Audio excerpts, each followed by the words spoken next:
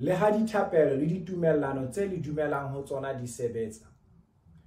Hopola hore ho bohlokwa hore re hlape matsoho re dumedise ntle le ho tshwarana ka matsoho. Re se ke ra tshwara difahleho tsa rona kapa re di kupetse.